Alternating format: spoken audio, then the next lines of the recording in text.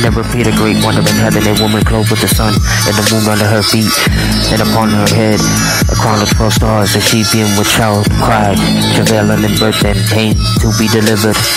And there appeared another wonder in heaven, and behold a great red dragon, having seven heads and ten horns, and seven crowns upon his head. And his tail drew the third part of the stars of heaven, and did cast them to the earth. And the dragon stood before the woman which was ready to be delivered, for to devour her child as soon as was born. And she brought forth a man child who was to rule all nations with a rod of iron, and the child was caught up unto God and to his throne.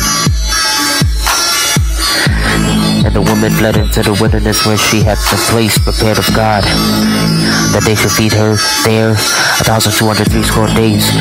And there was a war in heaven, and Michael and his angels fought against the dragon, and the dragon fought against his angels, and prevailed not. Neither was a place found any more in heaven. And the great dragon was cast out, the old serpent called the devil and Satan, which deceiveth the whole world. He was cast into the earth, and his angels were cast out with him. And I heard a loud voice saying in heaven, Now is come salvation and strength, and the kingdom of our God, and the power of his Christ. For the accuser of our brethren is cast down, which accuseth them before our God day and night.